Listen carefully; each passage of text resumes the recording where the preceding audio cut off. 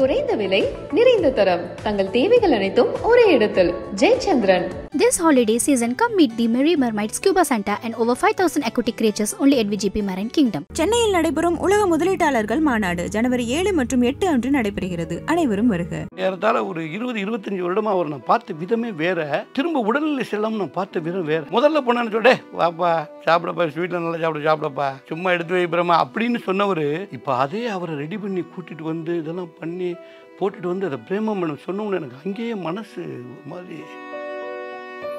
இப்போ எவ்வளோ காலம்பா படம் நம்ம அஸ்டாண்டாக சுட்டிட்டு இருப்பா? பாப்பா நான் வாய்ப்பு கொடுப்பா கொடுக்குறப்பா சரி விளையாட்டுக்கு ஏதோ சொல்கிறாரு போல அப்படின்னு நினச்சா சீரியஸாக மறுநாள் வந்தோடனே என்னப்பா இந்த சொல்லணும் இதை யோசிச்சாப்பா அப்படின்னு கேட்குறாரு சாப்பாடு அண்ணன் இங்கே ஆர்டர் இருக்கிறத சாப்பிடுவோம் இப்போ விடப்பா. எல்லாருக்கும் ஒன்று தான் எனக்கு என்ன தனி வயிறாக இருக்குது அப்படிம்பாரு. மகாபாரதத்தில் கர்ணன் வந்து அள்ளி கொடுத்தேன் அதெல்லாம் பண்ணேன். கேள்விப்பட்ட புராண கதைன்னு வச்சுக்கோங்க. இதை நான் விஷுவலாக அவர்கிட்ட பார்த்துக்கிட்டு இருக்கேன். அதெல்லாம் ஓகே கடைசியில் இறக்கும் போது கர்ணன் என்னடா வேணும்? அப்படின்னு கேட்கும்போது நீ பண்ண தானம் தவம் தர்மம் எல்லாத்தையும் நீ அப்படியே அள்ளி கொடுத்துரு. அப்படியே உன் ஆத்மா சாந்தி அடையும் நான் இல்லை. இங்கே ரியலாக அதை பார்க்குறேன். முருகப்பெருமான் பாதம் பட்டுச்சுன்னா அவன் கர்மா தொலைஞ்சிருமா? முன்வினை கின்வினை என்னென்னு சொல்கிறாங்கல்ல அதெல்லாம் தொலைஞ்சு பியூர் ஆயிடுவேன்னு இருக்கு. அது போல தான் கேப்டன்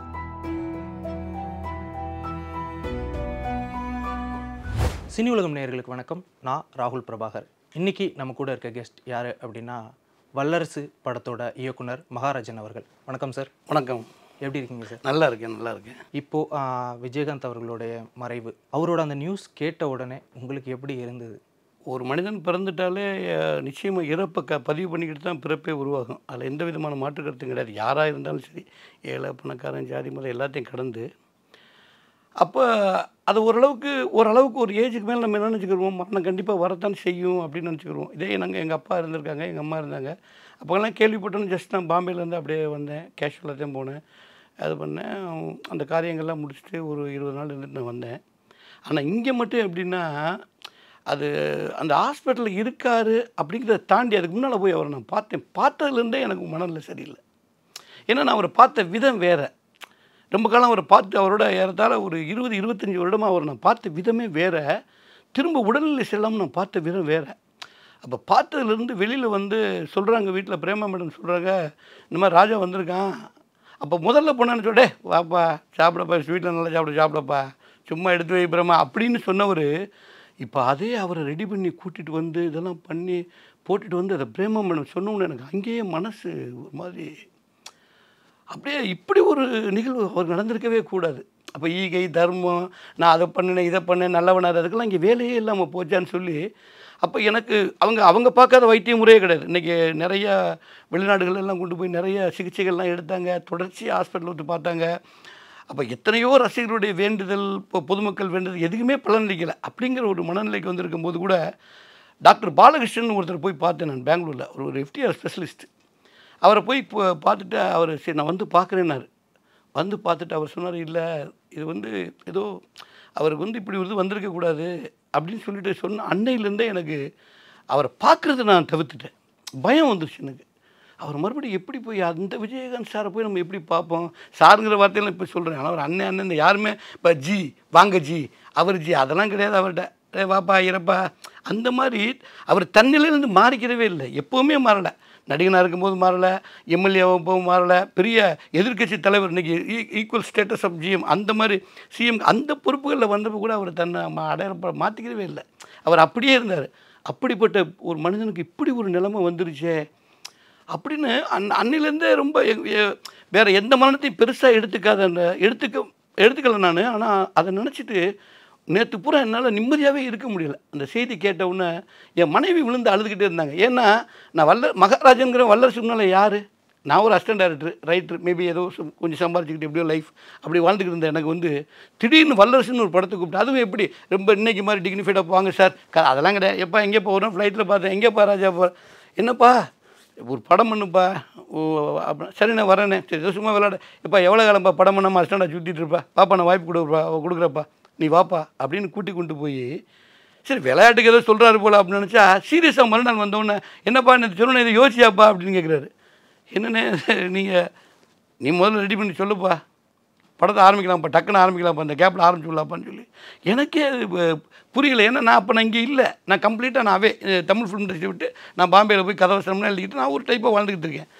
சரின்ட்டு ஒரு நாள் இதெல்லாம் முடிச்சு சரி கதை கேட்குறாரு அப்படின்ட்டு போன அண்ணே ரெண்டு கதை இருக்குது உனக்கு எது பிடிச்சிருக்கு? இல்லைண்ணே நீங்கள் கேட்டு பிடிச்சா பண்ணுவான். உனக்கு எது பிடிச்சிக்குன்னு சொல்லுப்பா. உனக்கு எதை பிடிச்சதை பண்ணுவோம்ப்பாங்கிறாரு எப்படி நம்பிக்கை? அது கதை கேட்குறது பணம் பண்ணுறது சாதாரண விஷயமே இல்லை. அது ஒரு பக்கம் பொருளாதாரம் இன்வால்வ்டு பணம் இன்வால்வ்டாக இருந்தால் கூட இன்னொரு பக்கம் அவர் எவ்வளவு டவுன் டு அப்படி வந்திருப்பார். அந்த வளர்ச்சியெல்லாம் அந்த படத்தின் மூலமாக வெற்றிகள் நிர்ணயிக்கப்பட்டு போகும். ஸோ அப்போ அதில் என்னடா கொஞ்சம் கூட சரிண்ணே நானே யோசிச்சுறேன்னு இப்போ நம்ம கையில் விட்ட நான் ரெண்டு நான் கதை வச்சுருக்கேங்கிற ஒரு ஒரு ஆணவத்தில் போன நிஜ முடிவுன்னு நம்ம முடிவு பண்ண தயங்கிட்டேன் நான். அப்புறம் மறுபடியும் என்னடா எந்த கதை பண்ணுறது ஏன்னா அவருக்கு எந்த கதை வேணாலும் பண்ணலாங்க. இன்றைக்கு வரைக்கும் நான் சொல்லுவேன் அடி சொல்லுவேன். இந்த மாதிரி ஆக்ஷன் ஹீரோக்களுக்கு மரணம் இல்லை. ஒரு ஏழு படம் கூட ஓடாமல் இருக்கும் எட்டாவது கூட ஓடிடும் ஏன்னா அவங்களுடைய வேர் வந்து ஸ்ட்ராங் ஆகி போச்சு. ரசிகர் பண்ணுறோம் அது இதுன்னு சொல்லி. படம்னால இன்றைக்கி வெளிச்சன் நாயர் கூட்டம் கூடுற அளவுக்கு வந்து அந்த அளவுக்கான ஒரு அவர் பிகினிங்லேயே நான் சொல்கிறது ஒரு பதினஞ்சு இருபது வருஷத்துக்கு முன்னாலே அவர் அந்த நிலைமைக்கு வந்துட்டார். அப்படி ஒரு படம் சொல்லிட்டு கதையை சொல்கிறேன் இப்போ எல்லாரும் கேட்குறாங்க நான் கொஞ்சம் அப்படி கதையை சொல்லி முடிச்ச உடனே நல்லா இருக்குப்பா. நல்லா இருக்கு. சூப்பராக பண்ணிடு மறு வார்த்தை கூட சொல்லலை. யார் நடிக்கிறா எது கேட்கல அப்பா இப்போ உனக்கு என்ன இப்போ ஆர்டிஸ்ட் லிஸ்ட்டு வேணும் சொல்லுப்பா. அப்படிங்கிறாரு. ஏதோ ஆர்டிஸ்ட்டு கொடுப்பேன் எனக்கு என்னடா நம்ம டேரக்டர் ஆகிட்டோமா இல்லை உண்மையிலே சொல்கிறாரா அப்படின்ட்டு ஒருத்தே ஒரு தயாரிப்பாளர்கிட்ட அனுப்பிச்சார். போய் கதையை சொல்லிட்டோம் அப்படின்னு நான் கேட்டேன். அண்ணா எதுக்குண்ணே அவர்கிட்டலாம் போய் அனுப்புறீங்க? அவனா அவர் இல்லைப்பா அவர் கதையை பாரு. நீங்கள் கேட்டு சொல்லுங்கண்ணே. நீங்கள் சொன்னாலும் எனக்கு போதுண்ணே. இல்லைப்பா நான் அவரெல்லாம் ப்ரொடியூஸ் பண்ண வைக்க போல. அடுத்து சொல்கிறாரு பாருங்கள் நான் தான் ப்ரொடியூசர்னாரு ஆக்சுவலாக ஒரு ஹீரோ கதை கேட்டோன்னா பிடிச்சி அனுப்புவாங்கன்னா they're not ready to invest அவங்க அதுக்கெல்லாம் தலையிட மாட்டாங்க. அன்னைக்கு அவ்வளோ பெரிய வியாபாரத்தெல்லாம் கிடையாது. இன்றைக்கி ஓடிடி அதெல்லாம் நிறைய ஃபார்ம் இருக்குது அப்போ அது கூட கிடையாது. அப்போ அவர் என்னடா இவர் தான் நான் தான்ப்பா ப்ரொடியூசரு. ஒன்றில் இப்போ நம்ம தனி பேனர் ஆரம்பிக்கிறோம்ப்பா. சுரீஷ் தான்ப்பா ப்ரொடியூசர் பண்ணுறா ப்ரொடியூஸ் பண்ணுறா அப்படின்னு எனக்கு ஷாக்கு என்னடா அது அவரே படம் பண்ணுறாரா டக்குன்னு சரிண்ணே சொல்லிக்கிட்டு இருக்கேன். இப்போ மாடியில் அந்த ரூம் போட்டு ரூம் அந்த இதெல்லாம் காமிங்க. அவனுக்கு எது பிடிக்கணும் பாருங்க. அப்படின்னு அன்னைக்கு சாயங்காலமே ஆஃபீஸ் கதை சொன்ன அன்னைக்கு சாயங்காலம் ஆஃபீஸு சம்பளம் அவனுக்கு என்ன சம்பளம் என்னவோ கொடுங்க. அவன் நம்ம இப்போ வீட்டு பையன் அவனுக்கு என்ன அப்படின்ட்டாரு. அப்படியே ஒரு ஈடுபாட்டோடு அந்த படம் ஆரம்பித்தோம் ஆரம்பித்து அந்த டிஸ்கஷன் போய்கிட்டு இருந்தது. ஒரு சம்பவத்தை சொல்லி உங்களுக்கு வரேன். அந்த டிஸ்கஷன் போயிட்டு பூஜை வந்துச்சு. பூஜை இன்றைக்கி நான் மாங்காடு கோயிலுக்கு போயிட்டேன். வர்றதுக்கு பதினோரு மணி ஆயிடுச்சு பூஜையோ காலையில் ஒம்பது மணிக்கு. நானும் பயத்தில் ஆகா என்னடா இப்படி டிராஃபிக்கில் மாட்டிக்கிட்டமேட்டு வரேன் ஒரு அவருடைய அவர் அப்போவே அன்றைக்கி பேர் நூறு நூற்றி இருபது படங்கள் கடந்திருக்கும் போது அரசியல்வாதிகள் எல்லா பேருமே அன்றைக்கி வருவாங்க. கட்சி ஆரம்பிக்கிற முன்னால் நிறைய பேர் இப்போ நடிகர்கள் எல்லா பேரும் வந்து கூட்டமாக வந்திருக்காங்க. அப்படி வந்திருக்கும் போது நான் லேட்டாக போகிறேன் நான் என்ன சொல்லுவாரா ஏது சொல்கிறான்னு சொல்லி நான் என் மனைவியை திட்டிக்கிட்டே போகிறேன் பாரு கோயிலுக்கு போகிறேன் குளத்துக்கு போகிறேன்னு சொல்லி பாரு மாட்டிக்கிட்டு பசங்களை உள்ளுக்கு போகிறேன் வந்தோன்னே ஏ வண்டா வண்டா வா வாப்பா வாப்பா வாப்பா அப்படின்னு ஆளாளுக்கு என்ன சொல்லியிருப்பாங்க? பூஜைக்கே லேட்டாக வரணும் எப்படி அவங்க படத்தை ஒழுங்காக எடுக்க போகிறான்னு சொல்லி. அப்போ பின்னால் பேசுகிற நூறு பேர் இருப்பாங்கள அப்படி சொல்லி ஒருத்தர் கேட்காம இவரே ஆரம்பிச்சாரு. சரிப்பா டைலாக் சொல்லுப்பா பாப்பா பாப்பா ரெடி ஆயிடுச்சு ரெடி ஆயிடுச்சு. பாப்பா உனக்கு தாப்பா. பாப்பா பாப்பான்ட்டு அந்த நடிகர் அதெல்லாம் விட்டுட்டாரு. ரொம்ப க்ளோஸாக வந்து சரி தோலில் கைப்பட்டு சரி சரி டக்குன்னு டைலாக் சொல்லி எடுத்துருவோம். இல்லைன்னா ஆளாளுக்காக பேசிட்டு இருப்பாங்க. அப்படின்னு சொல்லி டக்குன்னு தோலில் கையை போட்டுக்கிட்டு சொன்னார். அப்போ எந்த விதமான ப்ரிப்பரேஷன் இல்லாமல் ஒரு டைலாக் எழுதுனேன். வாழ்க்கையில் முன்னேற துடிக்கிற இளைஞர்களுக்கு நான் என்றைக்கும் பக்கபலமாக இருப்பேன். உங்கள் லட்சியம் நிறைவேற என்னோடய வாழ்த்துக்கள். இதுதான் ஃபஸ்ட் டைலாக் ஏன்னா அவருடைய அந்த குணமே நமக்கு டைலாக்காக வருது. நீங்கள் டைலாக்கெல்லாம் திட்டம் போட்டு அப்படி பார்த்து இந்த மாதிரி வாழ்க்கையில் முன்னேற்ற அப்படிலாம் எழுத முடியாது. இப்போ ஒரு பாட்டு எழுதுனா கூட அப்படி எழுத முடியாது. வானத்தை போல மடம் படைச்ச மன்னவன் யாருக்கு வேணாலும் எழுத முடியுமா பாருங்கள் எழுதி பாருங்கள் பெருத்தி படத்தோட மேட்ச் பண்ணுவோம் நல்லாவே இருக்காது. அப்போ யாருக்கு எது பொருந்தும்? இப்போ விஜயகாந்த் அவர்கள் நீங்கள் வந்துட்டு அந்த சமயத்தில் கதை தேடி அசிஸ்டன்ட் டேரக்டர் இருக்கும்போது அவர் கிட்டத்தட்ட ஒரு ஐம்பது படத்துக்கு மேலே புது இயக்குநர்களே அறிமுகப்படுத்தியிருக்காரு. உங்ககிட்ட அவருக்கு என்ன பிடிச்சிருந்தது? எதனால இவ்வளோ க்ளோஸாக இருந்தார் உங்ககிட்ட? அவரோட பேனர்லேயே உங்களுக்கு படம் கொடுத்தாரு. ரொம்ப நாள் என் ஒர்க்கை பார்த்துக்கிட்டு இருந்தார். காவிய தலைவன் அவங்க ஆபவன சார் கூட ஃபுல்லாக நான் ஒர்க் பண்ணுறேன் அடிக்கடி வீட்டுக்கு போவேன் வீட்டுக்கு போவேன். முதல்ல பிகினிங்லேருந்தே எனக்கு பழக்கம். வீட்டு அவர்கிட்ட ஒரு அந்த நடிகர் அசிஸ்டன்ட் அந்த இதெல்லாம் கிடையாது. அவருக்கு அது அதை பற்றி பெருசாக தெரியாது முதல்ல. அவர்கிட்ட இருக்க பெரிய ப்ளஸ் பாயிண்ட் அவருக்கு எதுவுமே தெரியாது. உள்ளே வச்சு தான் வெளியே சொல்ல மாட்டார். நம்ம நம்ம கொஞ்சம் இப்போ படம் வந்தோடனே இப்போ நான் எப்படி மாறிடுவேன்ல? அப்படி ஆள் பா பணம் பாம்பளம் வாங்கணும் அது வாங்கணும் பத்து பிடிச்சி வந்து நிற்கிறானு நம்ம ஈகோ வந்துடும் ஆனால் அந்த ஈகோவே இல்லாத எனக்கு அதெல்லாம் தான் எனக்கு பிரமிப்பாக இருக்குது ஏன்னா இவர் ஷூட்டிங்னாலே வந்து தரையில் படுத்துக்கிறாரு. அவர் லைஃப்பில் கேரவன் பார்த்ததே இல்லைங்க அவர் கேரவனுக்கு வந்ததே இல்லை வரவே மாட்டார். இருக்கப்பா இங்கே இருக்கப்பா? இதுக்கப்பா அது வேறு அப்படிம்பாரு.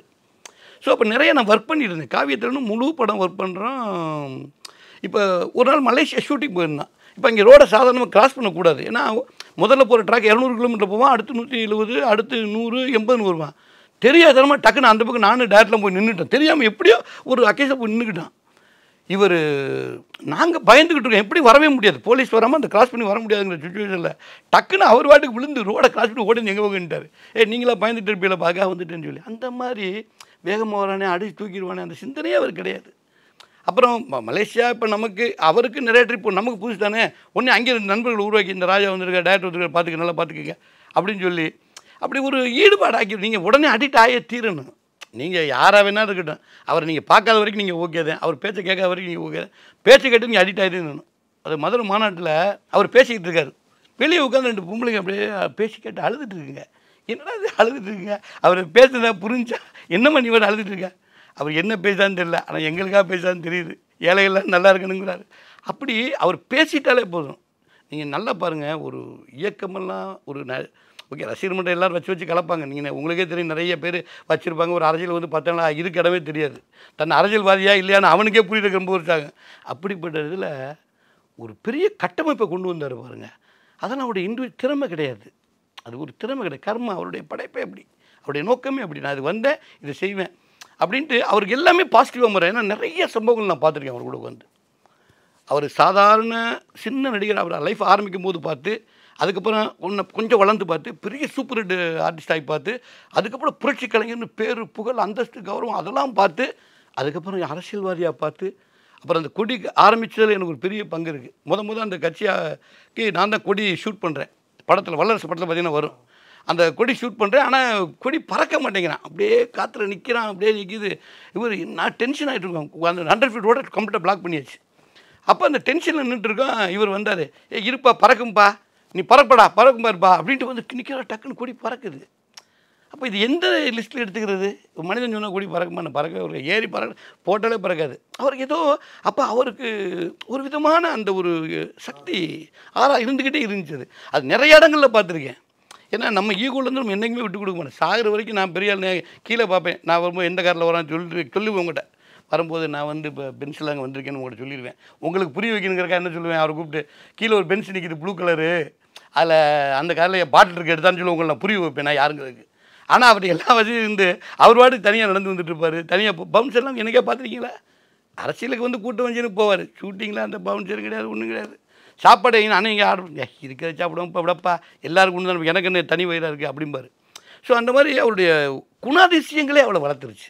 சிலருக்கு வந்து கடவுளோட அந்த அனுக்கிரகம் இருக்குல்ல அது பெர்த்தே அவருக்கு இருந்து இப்போ சமீப காலகட்டத்தில் நிறைய நடிகர்கள் இரநூறு கோடி முந்நூறு கோடி வசூல் கொடுத்துட்டு இருந்தப்போ விக்ரம் படத்து மூலிமா கமலாசன் அவர்கள் கொடுத்து நான் யார் அப்படின்னு தெரிவிக்கிறார் ஒரு படம் மூலிமா அதே மாதிரி ஆயிரத்தி தொள்ளாயிரத்துக்கு அப்புறம் அஜித் அண்ட் விஜய் இவங்கெல்லாம் வளர்ந்து வந்துட்டு இருக்காங்க அந்த சமயத்தில் விஜயகாந்த் அவர்களுக்கு நிறைய படங்கள் ஓடுச்சு. பிரம்மாண்ட வெற்றிங்கிறது ஒன்று கிடைக்காம இருக்கும்போது ரெண்டாயிரம் பிறக்குது. வல்லரசு படத்து மூலியமாக இரநூறு நாட்கள் ஒரு படம்.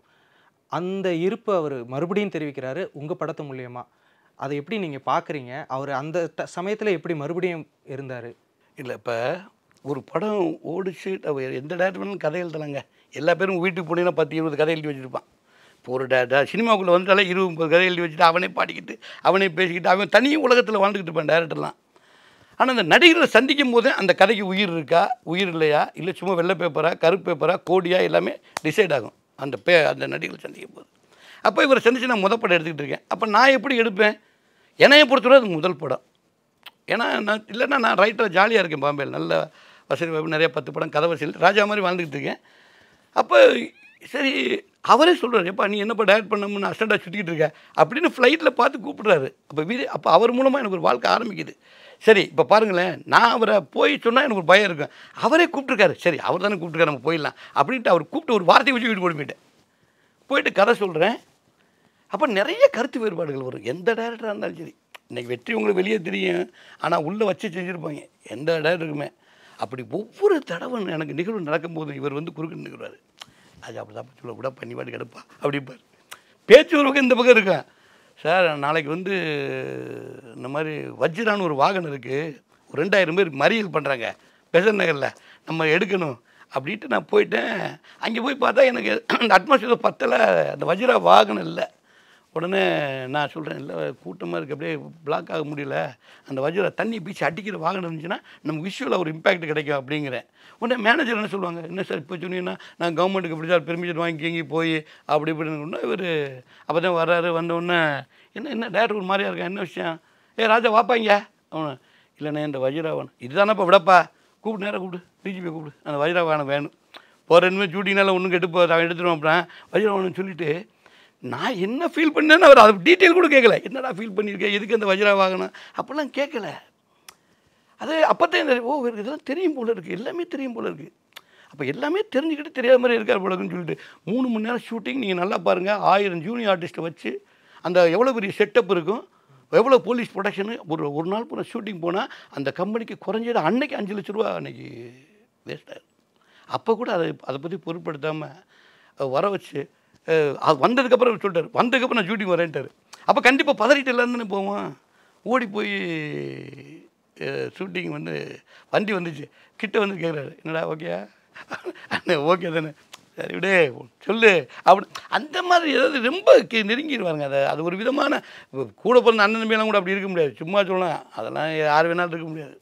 அந்த மாதிரி நெருக்கம் கொடுத்துருவாரு உங்களுக்கு. விஜயகாந்த் அவர்களோட அந்த வல்லரசு படம் அந்த ஷூட்டிங் ஸ்பாட்டில் விஜயகாந்த் அவர்களோட அந்த கோவத்தை நிறைய பார்த்துருப்போம் அன்பை நிறைய பார்த்துருப்போம். அவர் அந்த காமெடியாக விளையாட்டாக இருந்திருப்பார். அந்த மாதிரி ஷூட்டிங் ஸ்பாட்டில் என்ன மாதிரிலாம் இருப்பார்? நான் ஒரு இந்திய ஆர்டிஸ்ட்டை கூப்பிட்டு வந்துட்டேன்.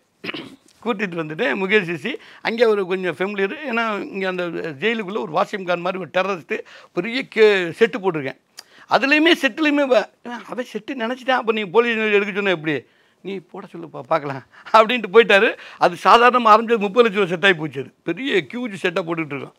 இப்போ இவர் வந்துட்டார் அந்த நடிகன் வந்தவுடனே இவர் வீட்டிலேருந்து வராரு. இன்னொன்று யார் பாரு வந்திருக்குது மீன் வில்லன் தெய்வன் அவன் செத்தான்ப்பா அப்படின்ட்டு ஏன்னா நீ சொல்கிறத புரிஞ்சவன் நான் கண்டிப்பாக நடிக்க மாட்டான். நாங்கள் புரிஞ்சவனே நடிக்க வைக்கிறது பெரிய போராட்டமாக இருக்குது அவனை கூட்டியாந்து வச்சு நீ அவனுக்கு வேறு சொல்லி கொடுத்து நடிப்பா எடுப்பா எடுப்பா. இப்போ சாப்பாடை நைட்டு எனக்கு சேர்த்து சொல்லிடுங்க அப்படின்னாரு. அந்த மாதிரி அது கோபம் எடுத்துக்கலாம்ல. இப்போ இவனை போட்டுட்டு எப்படிப்பா நீ சொல்லிக் கொடுக்க? அது அப்படி சொல்லலை. மெதுவாக ஒரே வார்த்தை சொன்னார் முதல்ல எடுத்தோன்னே ஏ பூஷன் அப்படின்னாரு. அண்ணே சாப்பாடு நைட்டு சொல்லியிருப்பா அப்படின்னாரு. ஏண்ணே இது இன்னைக்கு நடக்காதுப்பா. இங்கே ரெண்டு உயிர் தான் போராட்டம் நடக்குது. அந்த முயல் சசியோட யுத்தம் பண்ணுவான் பாரு. அது நல்லா இருக்கு நம்ம ஜாலியாக சேர் போட்டு பார்க்கலான்ட்டு. அது அப்படியே அப்புறம் அது நல்லா இருந்தால் அது நல்லா இருக்குன்னு சொல்லிடுவார் அது வரைக்கும் நான் அவனுக்கு சொன்ன அவன் ஹிந்தி புரியவே புரியாது. அவன் ஹிந்தியில் கத்தி பேசியிருந்தானே இங்கே இருக்கவனுக்கு என்ன புரியும்? ஸோ அப்போ அவருக்கு தமிழில் சொல்லி கொடுத்து அதை அண்டர்ஸ்டாண்ட் பண்ண வச்சு அதை இங்கிலீஷில் எக்ஸ்பிளைன் பண்ணி அதை பூரா இவர் சேரப்பட்டு இப்படி உட்காந்துக்கிட்டு ஆ அப்புறம் நடக்குதா? போடு போடு. இன்றைக்கி ரெண்டில் ஒரு உயிருக்கு பிரச்சனை அப்படி. அந்த மாதிரி நகைச்சுவையும் பண்ணி விட்ருவார் சமயங்களில். ரொம்ப அதே மாதிரி ஒரு ஷாட்டு ஒரு பெரிய டயலாக் ஒரு டயலாக் இருக்குது என் தாயினை பழிக்கிறவனு தாய் நாட்டை பழிக்கிறவனு எனக்கு சம்மந்தேன் யாரையுமே நான் விட மாட்டேங்கிறது ஒரு டயலாக் இருக்கும் அதில் நோன்னு கத்திட்டு அப்படியே ஃபுல் டயலாக் பேசணும். அப்படின்னு ஃபுல் டைலாக்கை சொல்லி அவர் மனப்பாடம் பண்ணிட்டு வந்து நிற்கிறார் மனப்பாடம் பண்ண மாட்டேன். எவ்வளோ பார்க்காம பேசி தெளிவார் வந்து நிற்கிறாரு வந்தவுடனே நோ அப்படின்னு கட்டு அப்படின்னு என்னப்பா இந்த லென்த்து டயலாக் இருக்கப்பா? அப்படின்னு. அதெல்லாம் அப்புறம்னே ஓ இப்போ வெறும் நோ மட்டும் தானே? ரெண்டு நாளைக்கு நீ எக்ஸ்ட்ரா சொல்லிடு அந்த மாதிரி அதுக்கு இந்த கவுண்டர் வேறு மாதிரி சொல்லுவார். அது அது அதனால தான் பெரிய பெரிய ஆள் நல்லா பாருங்களேன். எவ்வளோ பெரிய டேரக்டரான கேப்டன் உட்காந்து கீழே உட்காந்துருவாங்க அவர் யாரையும் உட்காரவும் சொல்ல மாட்டாருன்னு சொல்ல மாட்டார். கீழே உட்காரஞ்சு மேலே உட்கார அவருக்கே தெரியாது. அவர்கிட்ட அந்த அந்த- அந்த மாதிரி அதான் சொல்கிறார் அதிர்ச்சிகரமான சம்பவம் நடக்கும் அவர்கிட்ட. மவுண்ட் ரோட்டில் ஷூட் பண்ணிகிட்ருக்கோம் இருக்கோம். இதெல்லாம் நீங்கள் கற்பனையை விட தாண்டினது அது கற்பனை பண்ண முடியாது. அங்கே வந்து கிளைமேக்ஸ் லீடு ஏறத்தாழ ஒரு ஐம்பது நாற்பது பஸ் எல்லாம் பிடிச்சி பெரிய ஸ்ட்ரைக் நடக்கிற மாதிரி ஒரு இது மவுண்ட் ரோட் பீச் ரோட்டில் வச்சுருக்கோம். பிளான் படி ஆஃப் டே தான் கால் ஷீட் அந்த ஆஃப் டேக்குள்ளே ஏன்னா பெரிய இந்த ரோடு அதை இது பண்ணுங்கிறக்காக ஒரு செவனுக்கு ஆரம்பித்து ஒரு லெவனுக்கு முடிச்சிடலாம்னு சொல்லி பிளான் பண்ணி போயிட்டோம். பட் வண்டி இண்டியெலாம் வந்து நிற்கும் போது மணி பதினொன்று பத்தரை ஆயிடுச்சு. அப்புறம் மூணு நாலு மணி நேரம் வேணுமே என்னடா பண்ணுறேன்ட்டு இருக்கும்போது ஏன்ப்பா என்னாச்சு? இல்லைண்ணே ஷூட்டிங் எக்ஸ்டெண்ட் ஆகிட்டானே முடியும் போல இருக்கு இது அப்படின்னா டக்குன்னு ஃபோன் பண்ணார் தலைவருக்கு ஃபோன் பண்ணிட்டார். சண்முகநாதன் கலைஞர் இப்போ சிஎம்மாக இருக்கார். அவங்க ந- நட்பை பாருங்கள் சண்முகநாதனுக்கு ஃபோன் பண்ணிட்டார். ஃபோன் பண்ணி நான் விஜய் பேசுகிறேன் சொல்லுங்கள் விஜய் என்ன? இல்லை இந்த பீச் ரோட்டில் ஷூட்டிங் எடுத்துருக்கு நான் அப்போ தலைவர் போகிற நேரம் ஆஃபீஸுக்கு செக்ரட்டரியேட் போகிற டைம் அது. ஒரு பதினொன்று மணிக்கு அந்த ப்ரோட்டோக்கால்லாம் வந்து ரெடி பண்ணிடுவாங்க இதெல்லாம் ஒதுக்கி தள்ளிடுவாங்க அப்புறம் போயிடுவார். இவர் போனவுடனே இந்த மாதிரி ஷூட்டிங் வந்தேன் கொஞ்சம் எக்ஸ்டன் ஆகிட்டு இருக்கு தலைவர்கிட்ட பேசணும். சரி அப்படின்னு சொல்லுவாருங்க அவர் அங்கேருந்து சொல்லு விஜய் அப்படின்ட்டு வந்துட்டார். வந்த உடனே இந்த மாதிரி ஷூட்டிங் வந்தேன். புது பையன் இல்லை. அவ பாருங்க. புது பையன் அப்படி தான் எடுப்பாங்க அதனால் ஒரு ஒரு மணி ரெண்டு மணி கூட ஆகும் தலைவரே. அதனால் ஒன்றுங்க பரவாயில்ல விஜய். நான் வேறு ரூட் மாற்றி போட்டுக்கிறேன். யார் சிஎம் நீங்கள் சராசரி மனுஷர்கிட்ட எப்படி பேசுகிறோம் அங்கே அதுக்கு அங்கேயும் அதே தான் பேசிட்டான். நம்ம சிஎம்கிட்ட பேசுகிறோம்னு நினைக்க மாட்டார். சரி அண்ணே சரி. அப்படி அவர் ரூட்டை மாற்றிக்கிட்டு போனார். என்கிட்ட வந்து சொன்னார்? சிஎம்கிட்ட பேசியாச்சுப்பா. நீ நல்லா எடு இப்படியே ரெண்டு மணி நேரம் சொல்லிட்டு எட்டு மணி நேரம் எடு நீ பாட்டுக்கு எடு எடு. அப் அதையுமே வந்து ஒரு கோவமாக சொல்ல மாட்டார். நீ ஏன்டா அப்படி பண்ணிட்ட அப்படின்னு சொல்ல மாட்டார். அந்த மாதிரி அதனால தான் நிறைய அறுபது டேரக்டர் உருவம் நெருக்கி எல்லா பேருமே ஒரு சக்ஸஸ்ஃபுல் டேரக்டர் இருக்காங்க அதில். எல்லா டேரக்டருக்குமே அந்த ஒரு ஃப்ரீடம் அதில் நிறைய சம்பவங்கள் இருக்குது நீங்கள் கேளுங்க நான் இறுதியாக அந்த சொல்கிறேன் வல்லரசு படம் வந்து நீங்கள் புது இயக்குனர் அதில் எடுக்கிறீங்க. படம் வந்துட்டு அவரோட பட்ஜெட் அவரோட பேனரில் மிகப்பெரிய ஹிட் ஆயிருது. ஹிட்டுக்கு அப்புறம் உங்கள்கிட்ட வந்து என்ன பேசினாரு? படம் எப்படி வந்திருக்கு? ஹிட்டு அதாவது படம் படத்தில் படம் ஹிட்டு அதுலேயே நிறையா சம்பவங்கள் உள்ள உள்ள நிறையா சம்பவங்கள் இருக்குது அந்த ஒரு சம்பவம் முதல்ல ஒரு ப்ரெஸ் மீட் நடந்துச்சு. அப்போ அந்த ப்ரெஸ் மீட்டில் நான் சொன்னேன் ஒரு அசண்டாட்டுக்கு படத்தை கொடுத்து இவங்க கௌரவப்படுத்திட்டாங்க. பட் திருப்பி நான் அவங்கள கௌரவப்படுத்தி என்ன பண்ண முடியும்? அஞ்சு லட்ச ரூபா பணமாக கொடுக்க முடியும்? சால்வையாக கொடுக்க முடியும்? இந்த படத்தை ஹிட்டு பண்ணி கொடுக்குறதே அவங்களுக்கு கொடுத்த நான் கொடுக்க போகிற கௌரவம். அதுக்கு நான் என்னுடைய முழு முயற்சி பண்ணி நான் ஹிட்டு பண்ணுறதுக்குன்னா பாடுபடுவேன்னு சொன்னேன். அதே மாதிரி படம் ஹிட்டு அந்த நூற்றி எட்டு பத்திரிக்கைக்காரங்களும் மொத்த பேர் இருக்காங்க இங்கே. இவர் வந்திருக்காரு நான் நிற்கிறேன் படம் மிகப்பெரிய சென்சேஷன் இட்டு இந்தியில் ரைட்ஸு தெலுங்குல அப்படி ஒரு கூட்டம் என்னை சுற்றிக்கிட்டு இருக்குது இவருக்கு பெரிய இவருக்கு ப நான் ஊரில் இருக்கேன் ஊருக்கு வந்துட்டாங்க வீடியோ கேமரா எடுத்துக்கிட்டு. ஷூட் பண்ணுறதுக்கெல்லாம் என்னை பேட்டி வாங்கணும் அது வாங்கணும்னு சொல்லி. அப்போ அந்த ப எப்பா ப்ரெஸ் மீட்டருக்கு வாப்பா அப்படின்ட்டு சொல்கிறாரு இந்த மாதிரி நான் அப்படியே கூலாக உட்காந்துக்கிட்டு இருக்கேன். ஏன்னா நான் சக்ஸஸ் பண்ணிட்டேன்ல. எனக்கு ஈகோ தானே இருக்கும் நான் என்ன சாதனால நான் அப்படியே நம்ம பெரிய சக்ஸஸ் பண்ணிட்டேன். அன்றைக்கி பெரிய பெரிய ஆர்டிஸ்ட் இருந்தாலும் கால். அப்படி வந்துட்டு இருக்க நேரத்தில் அப்படியே உட்காந்துட்ருக்கேன் அவர் சொன்னார் இனிமே நான் நான் சொன்னேன் முதல்ல உண்மையிலே இந்த படம் இவ்வளோ பெரிய வெற்றி அடைஞ்சிச்சு. அதுக்குன்னா காரணம் வந்து கேப்டன் தான் நான் என்ன வேணால் கிரியேட்டராக வேணால் இருக்கலாம். பட் என்னை வந்து தடுமாறி விடாமல் என்ன அப்படி தாங்கி தாங்கி பிடிச்சி நிறைய இடத்துல என் மேலே ரிமார்க் வரும். ஏன்னா இன்னைக்கு நான் மறுநாள் லட்சம் பண்ணுங்கிறான் அப்படின்னு சொல்லி. விடு புது பையன் தானே. விடு விடுன்னு சொல்லி சொல்லி தாங்கி தாங்கி பிடிச்சிட்டு வந்தார். பட் அது மட்டும் இல்லை நம்ம என்ன வேணால் இருந்தால் டெலிவரி பண்ணுறதுக்கு அவர் மாதிரி ஆள் இல்லைன்னா எப்படி சமூக பிரச்சனை நீங்கள் அனலைஸ் பண்ண முடியும்? வல்லரசு முழுக்க முழுக்க ஜாதி பிரச்சனை டீல் பண்ணியிருப்பேன் மத பிரச்சனை டீல் பண்ணியிருப்பேன் அரசியலை டீல் பண்ணியிருப்பேன் நிறைய விஷயத்தை டீல் பண்ணியிருப்பேன் அதெல்லாம் வந்து சராசரியாக ஒருத்தர் உட்காந்துக்கிட்டு ஜாதி பிரச்சனை பேச காமெடியாக போயிடுது அப்போ அதுக்கெல்லாம் ஒரு அதனால் வந்து சொல்கிறேன் இந்த மாதிரி சொல்கிறேன் இந்த படம் முழு வெற்றிக்கு காரணம் ஒருவேளை என்னுடைய எழுத்தாக இருக்கலாம் நான் டேரக்ட் பண்ண விதமாக இருக்கலாம் அதெல்லாம் இருந்தாலும் கூட முழு காரணம் முதற் காரணம் வந்து கேப்டன் அப்படின்ட்டு அப்படின்ட்டேன். அப்படின்ட்டு சொல்லிட்டேன். சொல்லிட்டு அப்படியே போய் உட்காந்துட்டேன் நான். அதே மாதிரி அன்றைக்கி சொன்னேன் பத்திரிக்கைக்கு முன்னால் இன்றைக்கி நான் அவங்களுக்கு அதை திருப்ப காணிக்கையாக்குறேன் வெற்றி மூலமாக அப்படின்னு சொல்லிட்டு உட்காந்துட்டேன் அவர் எந்திரிச்சு என்ன சொல்லணும்? சராசரி மனுஷன். ஏன்னா அவருக்கு புகழுக்கு மேலே புகழ். அது ஏற்கனவே அவருக்கு புகழ். நீ என்ன பெரிய புகழ்? புகழுக்கு மேலே புகழுக்கு மேலே புகழுக்கு மேலே புகழ். அப்படி வந்துருச்சு. மகாபாரதத்தில் கர்ணன் வந்து அள்ளி கொடுத்தேன் அதெல்லாம் பண்ணேன். கேள்விப்பட்ட புராண கதைன்னு வச்சுக்கோங்க. இதை நான் விஷுவலாக அவர்கிட்ட பார்த்துக்கிட்டு இருக்கேன். அதெல்லாம் ஓகே கடைசியில் அவர் குத்துப்பட்டு இறக்கும்போது கர்ணன் அவர் வந்து என்னடா வேணும்? அப்படின்னு கேட்கும்போது நீ பண்ண தானம் தவம் தர்மம் எல்லாத்தையும் நீ அப்படியே அள்ளி கொடுத்துரு. அப்போதான் உன் ஆத்மா சாந்தி அடையுன்னு கர்ணனில் இங்கே ரியலாக அதை பார்க்குறேன். அவர் சொல்கிறாரு இப்போ எனக்கு கிடைச்ச புகழ் எனக்கு கிடைச்ச பேர் மகாராஜன் சொன்னது எல்லாமே நான் அப்படியே திருப்பி மகாராஜன்டே கொடுக்குன்னு பெரிய மாலை வாங்கி வச்ச கூட எனக்கு தெரியாதுங்க. பெரிய மாலை ஆளாயிரம் மாலை. அப்படியே ஓன்னு அழுதுட்டேன் நான். அப்போ அது பெரிய ஹெட்டிங் போட்டுருந்துச்சு மகாராஜனே அழலாமா அப்படின்னு போட்டு அவர் என்னை கட்டி அழாத விட்றா அப்படின்னு சொல்லி பணத்தை கொடுக்கலாங்க. புகழ் நான் விட்டு கொடுக்க மாட்டேன்ல.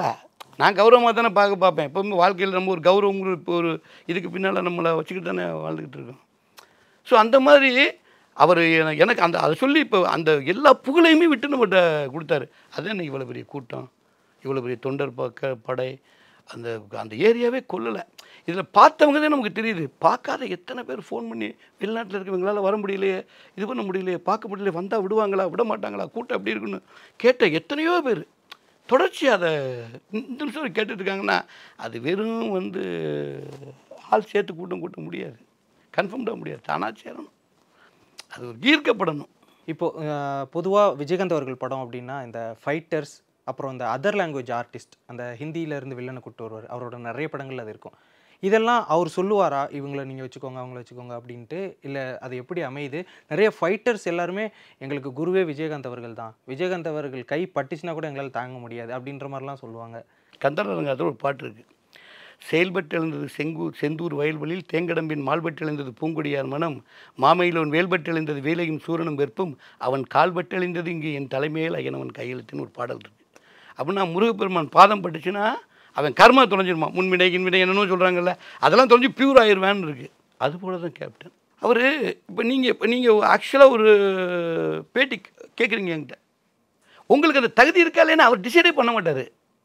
அவர் நீங்கள் எந்த அளவுக்கு டிசைட் பண்ண உங்களுக்கு நூறு அவர் கரெக்டாக அதெல்லாம் கரெக்டாக எடுத்துருவாப்புல. உங்கள் பேர் என்ன? ராகுல். ஆ ராகுல் பின்னிடுவாப்புல பாப்பில் நீங்களே என்ன நான் இங்கே பின்னினேன்னு நினைக்கிற அளவுக்கு உங்களுக்கு ஒரு தைரியத்தை முன்னால் கொடுத்து வச்சுருவாரு. ராகுல் எடுத்த பேட்டின்னா அப்படி இருக்கும்ப்பா கேள்வியெல்லாம். சும்மா பா அப்படின்ட்டு ஒரு ஃபைட்டர் அவன் நல்லா ஜம்ப் பண்ணுவா பார்க்கும்போது ஜம்ப் பண்ண நீங்கள் இப்போ பைக்கோட குட்டிக்கரனை அடிக்கணும் அது விளையாட்டு கிடையாது. அப்போ அவர்கிட்ட போய் ஒரு நின்றுக்கிட்டு சேஃப்டிலாம் இருக்கடா? தைரியமாக இருக்கடா தைரியமாக இருக்கல ஒன்றும் பிரச்சனை இல்லைடா. பிரச்சனை வேணாம் ஷாட் வேணாம் பாரு. அந்த மாதிரி அது இன்னொருத்தர் தானேன்னு பார்க்க மாட்டேன் சக மனிதன்னா ஏன்? நான் தான் அது. எனக்கு அடிபட்டா நான் எப்படி துடிக்கிறனோ அதே மாதிரி தான் அவருக்கு அப்புறம் நீங்கள் மாற்றுன்னே பார்க்க மாட்டார் அவர். அவனும் மனுஷன் தானேப்பா.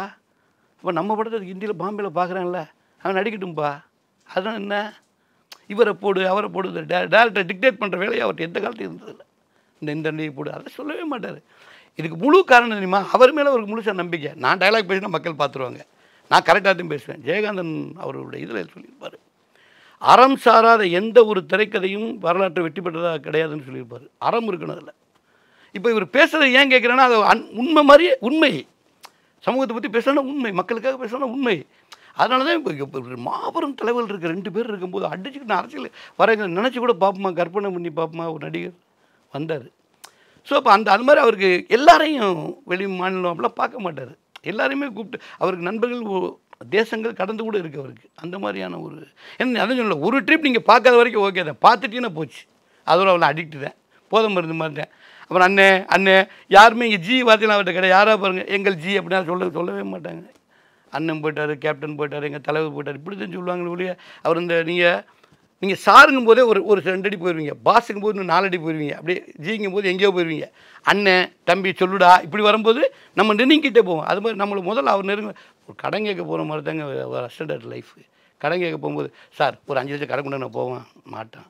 சார் வீட்டில் ஒரு குடும்ப பிரச்சனை இருக்குது ஒரு ஃபைவ் லேக்ஸ் தான் கிடைக்குமான்னு கூனி குறுகி போவோம் அது போலவே வாய்ப்பு கேட்குறது. நான் ஒரு கதை வச்சுருக்கேன்.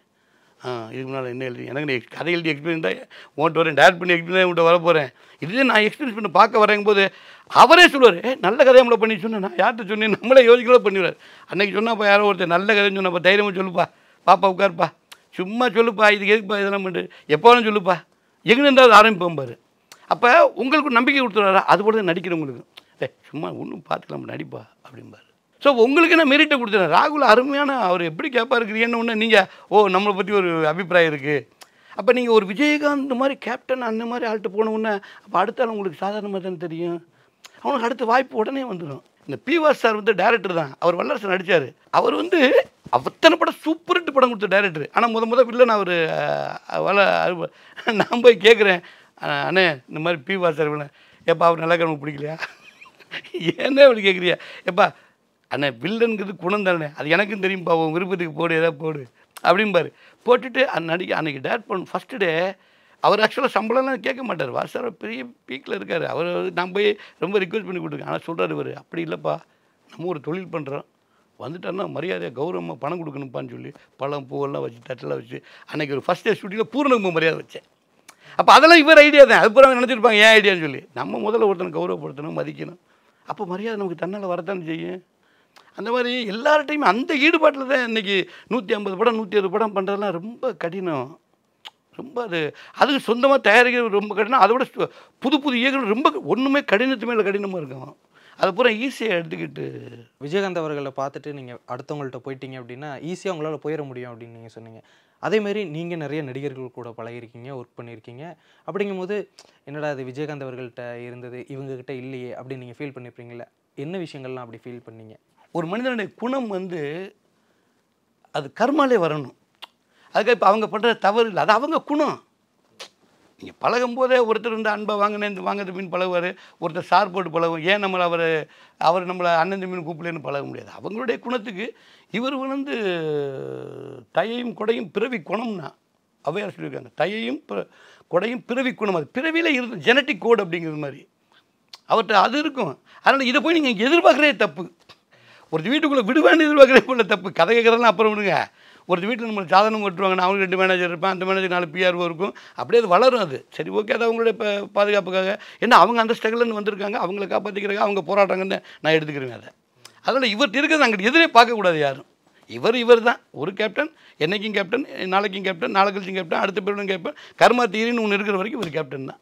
அதற்கடுத்து நீங்கள் விஜயகாந்த் அவர்களை வச்சு படம் எடுக்கலாம் அப்படின்னு சொல்லிட்டு ட்ரை பண்ணி அதான் என்னுடைய சூழல் நான் வந்து ஹிந்தியில் போய் கமிட் பண்ணி ஒரு படம் எடுத்து அங்கே சூப்பர் ஹிட் ஆகி போச்சு இந்தியன்னு சொல்லி. அதுக்கப்புறம் அஜித் சாரை வச்சு ஒரு படம் பண்ணிட்டு அப்புறம் ஆராசாச்சின்னு ஒரு படம் பண்ணி எனக்கு ஒரு சின்ன விபத்து மாதிரி வந்துருச்சு. அப்போ நானாக வந்து நான் நிறைய படங்கள் கமிட் பண்ணி வச்சுருந்தேன். எக்கச்சக்கமான படம் தெலுங்கு ஹிந்தியிலே ஒரு பெரிய கார்பரேட் கம்பெனியில் நான் ஒன் ஆஃப் த ஷேர் ஆகிட்டேன் பெரிய அங்கேயே ஒரு பத்து படம் கமிட் பண்ணி இங்கே நிறைய கமிட் பண்ணியிருந்தேன் அதுக்கப்புறம் நானாக ஒன் ஃபைன் பண்ணி நான் விளைவிக்கிறேன்னு விளைவிக்கிட்டேன். இல்லை என்னால் உடல் இல்லை. காரணம் ஷூட்டிங் ஸ்பாட்டில் ஒரு ஆக்சிடென்ட் நினச்சி அதில் அப்படியே நான் அது வெளியே யாருக்கும் தெரியாது. அதனால் நான் அப்போவே அது வந்து படம் இப்போ நான் திருப்பி மறுபடியும் இந்தியன் டூன்னு ஒரு படம் பண்ணுறேன் நான். இங்கே சென்னிதேவில் அமிதாப் பச்சன் வச்சு. அதுக்காக தான் பாம்பேயில் இருந்தேன். இப்போ திருப்பி தமிழ்லையும் படம் பண்ணுறேன் ஏன்னா ஒரு சில வருத்தமான செய்திகள் என் பையனை ஹீரோ ஆக்கணும்னு நினச்சப்போ அவர்கிட்ட போய் சொன்னேன். அண்ணன் எதுவுமே சொல்லலை. நீ எப்போ ஷூட்டிங் சொல்லுப்பா. நீ எப்போ ஷூட்டிங் என்ன கேட்டு பண்ணு சொல்லுப்பா. அண்ணன் ஒரு அஞ்சு நாள் அஞ்சு நாள் ஏழு நாள்லாம் ஒன்றும் பிரச்சனை இல்லை பண்ணி எப்படின்னு சொல்லி பண்ணார். ஸோ அதாவது அவர் நாளைக்கு நடிச்சு கொடுக்க வர்றாரு போகிறாரு அதுக்கான சம்பளம் பேசணும் அதெல்லாம் அப்புறம். ஆனால் முதல்ல எடுத்த உடனே தம்பி என்னடா? உன் பிள்ளை என்னென்ன என் பிள்ளை என்னன்னு நீ சொல்லு. அந்த மாதிரியான அந்த அந்த நிகழ்வுகள் நினைக்கும் போது தான் நமக்கு வருத்தமாக குடும்பமே சோகமாக இருக்குன்னா ஒருத்தன் செத்த குடும்பம் சோகமாக இருக்குமா என்ன? ஒன்றும் நம்ம வீட்டில் இருந்தாலும் சோகமாக இருக்காது. சாயங்காலமான இட்லி ஊற்றுன்றான் வீட்டில் இங்கே அப்படி இல்லை. நேற்றெல்லாம் நேற்றுக்கு மூணு நாள் ஒரு மாதிரி இருந்துச்சு. நேற்றுலாம் அந்த கூட்டத்துக்குள்ளே போய் உயிருக்கு போராடித்தான் உள்ளுக்கே போனேன் உள்ள இன்றைக்கி இப்போ முதல்ல இந்த விஷயத்தில் தமிழ்நாடு அரசாங்கத்துக்கு நான் ரொம்ப முதலமைச்சருக்கு ஸ்டாலின் ஐயாவுக்கு நான் ரொம்ப நன்றி கிடந்தேன் ஏன்னா இன்னைக்கு இப்படி ஒரு இடத்த கொடுத்து தீவு தொழிலுக்கு வாங்க அந்த அவஸ்தையை பார்த்துட்டு அதுக்கு அது சாதாரணமாக இம்மீடியட்டாக கவர்மெண்ட் கூட டிசைட் பண்ண முடியாது. அது புரோட்டோக்கால் அதெல்லாம் வச்சு மீறி இன்றைக்கி டிவி தொடரில் கொடுத்து இன்றைக்கி ஏறத்தால் ஏடிஜிபி பத்து பேர் டிஜிபி அப்புறம் அசிஸ்டன்ட் கமிஷனர் கமிஷனர்ஸ்லாம் போட்டு ஒரு ஐயாயிரம் பத்தாயிரம் போலீஸை போட்டு இன்றைக்கி அவரை கௌரவப்படுத்திட்டாங்க. அது ஒரு மிகப்பெரிய அதனால் நான் வந்து தலைமை அமைச்சருக்கும் காவல்துறைக்கும் ரொம்ப நன்றி. அதுவும் பத்திரிகையாளருடைய பங்கில் பெரும் பங்கு. ஏன்னா அவங்க சாதாரணமாக இப்படி எடுக்க முடியுதானே கேமரா வச்சுக்கிட்டு. இடித்து தள்ளி குத்தி தூக்கி எறிஞ்சு அதை மீறி எடுக்கணும். அதை மீறி அந்த இதை கா இது பண்ணணும் அப்படின்னு சொல்லி இது எல்லாருக்குமே நன்றி சொல்லணும். அவர் அவரே ஒரு நன்றி சொல்கிற ஆள்துன்னு வைங்க. இப்போ அவர் முதல்ல எதை பேசினாலும் மீடியா பற்றி சொல்லிடுவார். எப்பா நீங்கள் பார்த்தாப்பா ஏதாவது கொஞ்சம் முன்னேற்றி விடுங்க பாம்பா ராஜாவை. ஏதாவது அவன் சின்ன பையன் தப்புக்கு பண்ணுவான் பாம்பாரு ஏதாவது நல்லா எழுதுங்கப்பா ரெண்டு வார்த்தை கூட ரெண்டு வார்த்தை போடுங்கப்பா அப்படிம்பாரு. அப்போ நமக்கு வீட்டுக்கு வந்து நிம்மதி வருமா? அதுக்கு நம்ம என்ன கர்மம் என்ன ப திருப்பி கைமாறு செஞ்சு அவருக்கு நம்ம என்ன கர்ம கைமாறு செய்ய முடியும்? யோசிச்சு பாருங்கள் எனக்கு ஒரே ஆசை அந்த பசங்களை டேட் பண்ணணும். விஜயகாந்த் விஜயகாந்த் பையங்களை டேட் பண்ணணும். அப்படின்ட்டு அந்த வந்தால் வந்துடுவாங்கன்னு வைங்க அவருடைய அந்த ஜஸ்ட் அந்த ஒரு சின்ன கார்வே இருந்தால் வந்துடுவாங்கன்னா அவருடைய பிள்ளைங்க தானே. யாரோ வருமா வந்துடுவாங்க அவங்க. அதுக்கான முன்னேற்பாடுகள் எடுத்து வரும்போது நிச்சயமாக வந்துடுவாங்க அவங்க. கண்டிப்பாக சார். சீக்கிரமே அது நடக்கணும். உங்களோட நன்றி கடனை நீங்கள் அப்படி தெரிவிக்கணும்னு சொல்லிட்டு நாங்களும் வண்டிக்கிறோம். நிறைய விஷயங்கள் பகிர்ந்துக்கிட்டீங்க. நேரத்திற்கும் கருத்திற்கும் நன்றி சார். இன்றைக்கி அண்ணனுடைய இறுதி ஊர்வலத்தில் கலந்துக்க முடியலன்னு நிறைய பேர் உலக நாடுகள்லேருந்தெல்லாம் நிறைய பேர் ஃபோன் பண்ணிட்டாங்க. மலேசியா சிங்கப்பூர் துபாய் நிறையா அதாவது அங்கேருந்து இங்கே இங்கே தமிழ்நாடு நெருக்கி அதர் ஸ்டேட்டில் இருக்கவங்க எல்லாருமே நிறைய பேர் ஃபோன் பண்ணி கலந்துக்க முடியலன்னு அவங்க வருத்தத்தை எல்லாருமே ஒரு மாதிரி தெரிவித்தாங்க அவங்களுக்கெல்லாம் நான் ஒன்றே ஒன்று தான் சொன்னேன். இல்லைங்க நீங்கள் நினச்ச இடத்துக்கே அவர் வந்துடுவார் இவருக்கு நாலு மணிலேருந்து அஞ்சு மணி வரைக்கும் அந்த ஈமச் சடங்குகள் அரசு முழு மரியாதையோடு ஒரு பிறவி நோக்கமே நிறைவேறிடுச்சு. அரசு முழு மரியாதையோடு நடக்குது. அந்த நேரத்தில் ஒரே ஒரு நிமிடம் ரசிகர்களாக இருந்தாலும் சரி தொண்டர்களாக இருந்தாலும் சரி அல்லது அவர் விரும்புகிற நேசிக்கிற மக்களாக இருந்தாலும் சரி அது தமிழனாக இருந்தாலும் சரி வேற்று மொழிக்காரனாக இருந்தாலும் சரி யாராக இருந்தாலும் அந்த ஒரு நிமிஷம் மௌனமாக இருந்து கண்ணை மூடி அவருடைய ஆன்மா சாந்தி அடைன்னு சொல்லி எல்லாரும் ப்ரேயர் பண்ணணும். இதுதான் என்னுடைய வேண்டுகோள். குறைந்த விலை நிறைந்த தரம். தங்கள் தேவைகள் அனைத்தும் ஒரே இடத்தில். Jayachandran. This holiday season, come meet the Merry Mermaid Scuba Santa and over 5000 aquatic creatures only at VGP Marine Kingdom. சென்னையில் நடைபெறும் உலக முதலீட்டாளர்கள் மாநாடு ஜனவரி ஏழு மற்றும் எட்டு அன்று நடைபெறுகிறது. அனைவரும் வருக.